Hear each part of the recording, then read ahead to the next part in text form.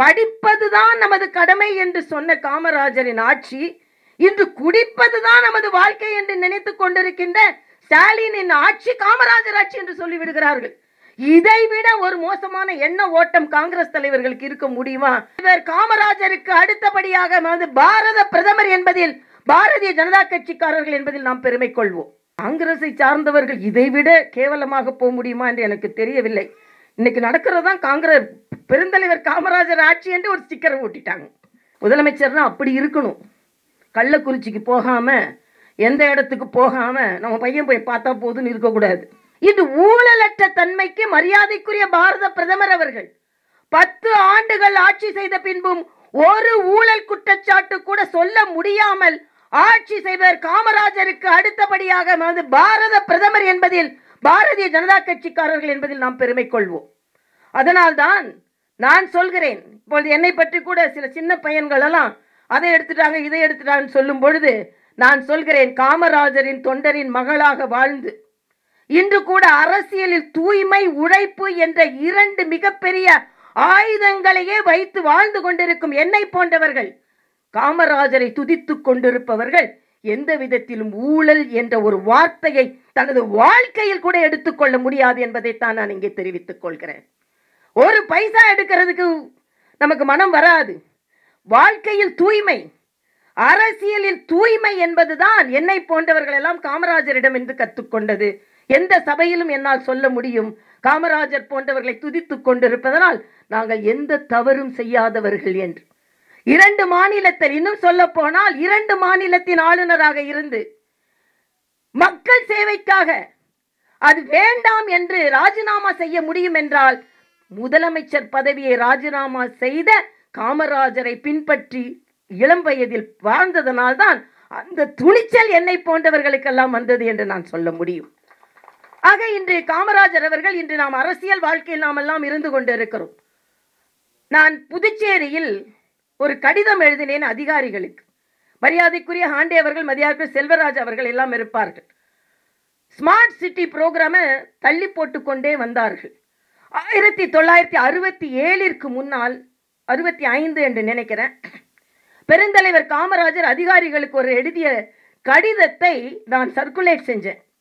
என்ன கடிதம் என்றால் அதில் இரண்டு விதம். ஒன்று வைகை அணையை கட்டுவதற்கு குறிப்பிடப்பட்ட பணத்தை விட மிச்சப்படுத்தி அவர்கள் வைகை அணையை கட்டி முடித்து விட்டார்கள். ஆனால் இந்த காலத்தில் அது முடியுமா? முடியாது.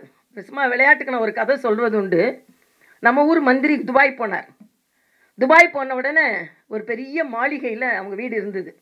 உடனே ஜன்னல் வழியாக அவர் கேட்டார் இவ்வளோ பெரிய மாளிகை எப்படிங்க கட்டினீங்கன்னு? உடனே ஜன்னல் கிட்ட கூட்டிகிட்டு போய் பாருங்கள் அவங்க ஒரு ஆறு தெரியுது. ஆமாம் ஆறு தெரியுது. அது மேலே ஒரு அணை தெரியுது அந்த அணை தெரியுது. அந்த அணையில் கொஞ்சம் கமிஷன் எடுத்தாங்க அதனால் இவ்வளோ பெரிய வீடு கட்ட முடிஞ்சுது அப்படின்னு சொன்னார். அப்படியா? அப்படின்னு நம்ம மந்திரி போயிட்டு வந்தார். இங்கே வந்த உடனே அதே துபாய் மந்திரி இந்த ஊருக்கு வந்தார். வந்த உடனே அதை விட பெரிய மாளிகையில் நம்ம ஊர் மந்திரி இருக்கிறார். உடனே என் வீடை பார்த்து நீங்க ஆச்சரியப்பட்டீங்க. இப்பொழுது என்னோட பெரிய மாளிகையில் இருக்கீங்களே அப்படின்னு சொன்ன உடனே எப்படிங்கன்னு கேட்டோன்னே கொஞ்சம் வாங்கன்னு இவரும் அதே மாதிரி கூட்டிட்டு போனார்.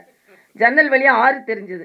ஆறுக்கு மேலே அணை தெரியுதா? பாலம் ஏதாவது தெரியுதா? ஒன்றும் தெரியலைங்கண்ணா. நான் நூறு சதவீதம் கமிஷன் அடித்தேன் அதனால தான் இவ்வளோ பெரிய வீடு கட்டினேன் அப்படின்னு சொன்னார். இந்த காலம் அப்படி இருக்கு. ஆனால் மரியாதைக்குரிய காமராஜர் அவர்கள் அந்த கா- அணை கட்டுறதுக்கு கொடுக்கறத விட மிச்சம் படுத்திட்டு அந்த மிச்சத்துல பூங்கா கட்டினாரு அதுக்கப்புறம் விருந்தினர் மாளிகை கட்டினாரு. நான் சின்ன பிள்ளையில போய் அந்த வைகை பூங்கால அது மட்டும் இல்ல திரைப்படத்துறையினருக்கு கூட அந்த காலத்துல வைகை அணையோட அந்த பூங்காவில் தான் ஷூட்டிங் எடுப்பாங்க. ஆக மரியாதைக்குரிய காமராஜர் அவர்கள் எந்த திரைப்படத்தையும் பார்த்ததில்லை. அதே மாதிரி தான் இன்னொரு அணை கட்டும் பொழுது சொன்ன நேரத்தை விட இ- விரைவாக முடித்து விட்டார்கள் என்று அவர்களுக்கு ஒரு கடிதம் எழுதினார். அந்த கடிதத்தை நான் புதுவையில் உள்ள எல்லா அதிகாரிகளுக்கும் சர்க்குலேட் செஞ்சேன். என்னன்னா இப்படி இழுத்துக்கிட்டே போறீங்களே திட்டங்களை. இழுத்துட்டே போறீங்க. ஆனா பாருங்க காமராஜர் ஆட்சி காலத்துல ரெண்டு வருஷம் சொன்னீங்கன்னா ஆறு மாசத்துக்கு முன்னாலே அதை கட்டி முடிச்சிட்டாங்க. அதற்கு பெருந்தலைவர் காமராஜர் முதலமைச்சராக இருந்து பாராட்டு கடிதத்தை எழுதியிருக்கிறார். இதை போல அதிகாரிகள் நீங்கள் பின்பற்ற கற்றுக்கொள்ளுங்கள் என்று நான் ஒரு கடிதம் எழுதினேன். ஆக பெருந்தலைவர் காமராஜர் இன்றும் நமக்கு வழிகாட்டி கொண்டிருக்கிறார்.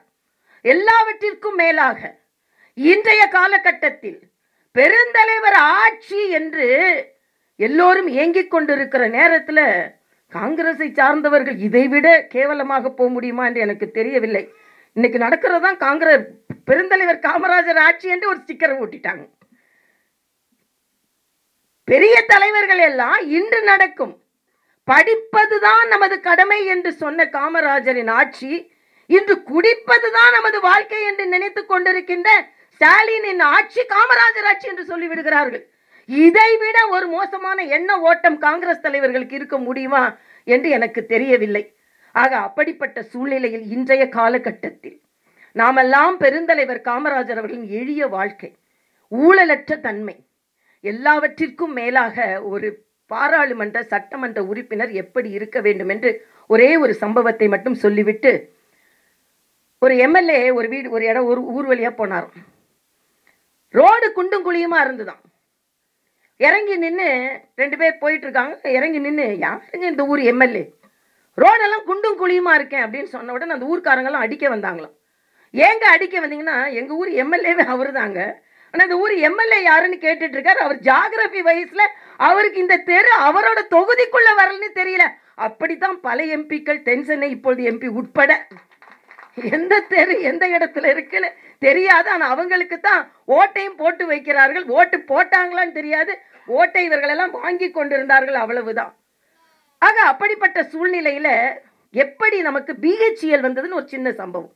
ஒரு முதலமைச்சர் என்பது என்பவர் எப்படி நமக்காக அந்த இடத்தை தேர்வு செய்தார் என்று மத்தியிலிருந்து தமிழகத்திற்கு வருகிறார்கள் அதிகாரிகள். ஒரு இடத்தை நடு இடமா இருக்கணும். அங்கே ரயில் கனெக்டிவிட்டி இருக்கணும் ஏர் கனெக்டிவிட்டி இருக்கணும் ரோட் கனெக்டிவிட்டி இருக்கணும் அப்படி ஒரு இடம் வேணும். ரெண்டு லட்சம் பேருக்கு வேலை வாய்ப்பை கொடுக்கின்ற ஒரு தொழில் அது. தொழிற்சாலை அது என்று வருகிறார்கள். வந்துட்டு எல்லாத்தையும் சுற்றி பார்த்துட்டு கிளம்புறாங்க. காமராஜர் கேட்கிறார். வந்த அதிகாரிகள்லாம் ஏன் இடம் செலக்ட் பண்ணிட்டாங்களே? இடமும் கிடைக்கலையாம் அதனால் அவங்கெல்லாம் ஊருக்கு போகிறாங்க இப்போ பிஹெச்எல் நமக்கு வராது. வேறு மாநிலத்துக்கு போக போகுது போல இருக்குன்னு. அவசரப்பட்டு காமராஜர் உடனே அந்த அதிகாரிகளை கூப்பிடுகிறார். கூப்பிட்டு சொல்கிறார். திருவெரும்பூர்னு ஒரு இடம் இருக்கு. இந் தமிழ்நாட்டில் நடு இடம். ரயில் கனெக்டிவிட்டி இருக்கு ரோட் கனெக்டிவிட்டி இருக்கு எல்லாம் இருக்கு. போய் பார்த்துட்டு வாங்கன்னு சொல்றார். அதிகாரிகள் அங்கே போகிறார்கள். போய்விட்டு வந்து சொல்கிறார்கள் நாங்கள் என்ன நினைத்தோமோ எப்படி இருக்க வேண்டும் என்று நினைத்தோமோ அப்படி அந்த இடம் இருக்கிறது. அதனால் ரெண்டு லட்சம் தமிழர்களுக்கு வேலை வாய்ப்பை கொடுக்கும் பிஹெச்ஏலை இங்கே நிறுவப் போகிறோம். என்று. முதலமைச்சர்னா அப்படி இருக்கணும். கள்ளக்குறிச்சிக்கு போகாமல் எந்த இடத்துக்கு போகாமல் நம்ம பையன் போய் பார்த்தா போதுன்னு இருக்கக்கூடாது. எப்படி இருக்கணும்னா நம்ம நாட்டை பற்றி தமிழகத்தை பற்றி எல்லாம் தெரிந்து நமக்கு வர வேண்டிய தொழிற்சாலைகளை நமக்கு வர வைப்பதற்காக நாம் இருக்க வேண்டும். ஆக நான் எல்லாரும் இன்னைக்கு இருக்கிற ஒரு சூழ்நிலையில் என்னை பொறுத்த மட்டில் நான் சிறு வயதிலிருந்து காமராஜரை பார்த்து வளர்ந்த ஒரு பாக்கியத்தை பெற்றவள் என்ற வகையில் அண்ணாந்து பார்க்கணும். உயரமாக இருப்பார். சட்டை லூஸாக தான் போட்டிருப்பார். அவர் இறக்கும்போது மூன்று செட் சட்டை இருநூறு ரூபாய் தான் அவர் கையில் இருந்தது. இன்னைக்கு போர்ட்ஃபோலியோ இல்லாமல் சிறையில் வைக்கிற அமைச்சர்லாம் அவர்கிட்ட இல்லை. அவர்கிட்ட யாரெல்லாம் இருந்தால் தன்னை எதிர்த்து போட்டி போட்டவர்களை கூட அமைச்சராக வைத்து சின்ன அமைச்சரவையை வைத்து அழகாக ஆட்சி செய்தவர் மரியாதைக்குரிய பெருந்தலைவர் அவர்கள். செய்பவரை கண்டால் நாம் பயங்கொள்ளலாகாது பாப்பா. மோதி மிதித்து விடு பாப்பா அவர் முகத்தில் உமிழ்ந்து விடு பாப்பா. அண்மை செய்திகளை உடனுக்குடன் தெரிந்து கொள்ள இணைந்திருங்கள் இயம்நாடு தொலைக்காட்சியுடன்.